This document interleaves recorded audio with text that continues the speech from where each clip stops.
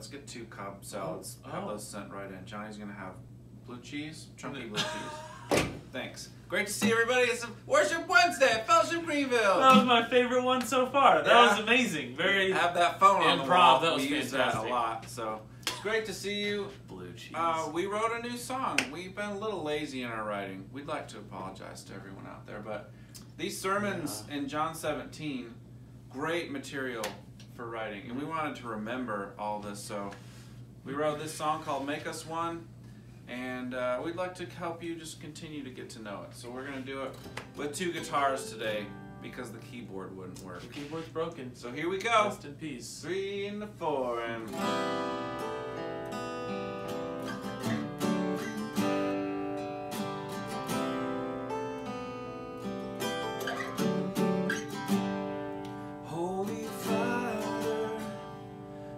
Compares to you?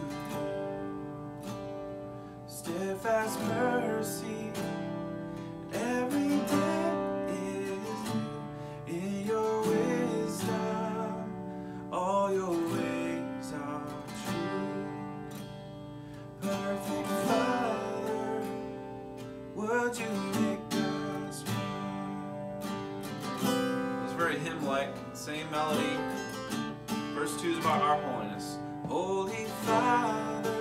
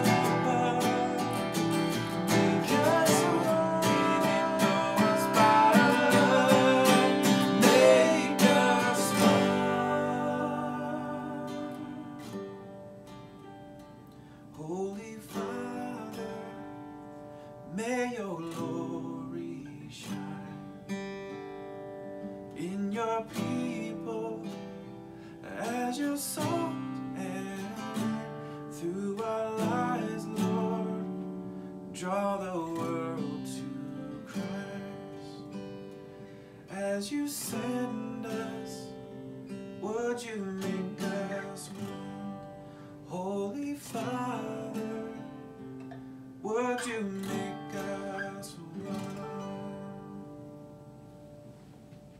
So in that chorus, if you were here last Sunday, the ladies are kind of singing that part I was singing. The Father, may your church reflect your heart. So hopefully that helps you guys get to know a little better, so we can sing it the next few Sundays and get to know that as part of our our songs. Also, speaking of original music, we have some Oh yes, we yes. some great worship leaders who like to write songs on the side, and one of those is Abigail Whitaker, and she wrote a little project recently, mostly scripture songs. Yeah. yeah, just straight scripture. And you can find that on Bandcamp. Yeah. Mhm. It's just bandcamp.com. Go to bandcamp.com, I believe, and search, search. for her name, Abigail, Abigail Whitaker. Whitaker. and you can enjoy some music from her. So, thanks for joining us, Johnny. Why don't you close us in prayer Sure thing. that God would make our church one? Thanks.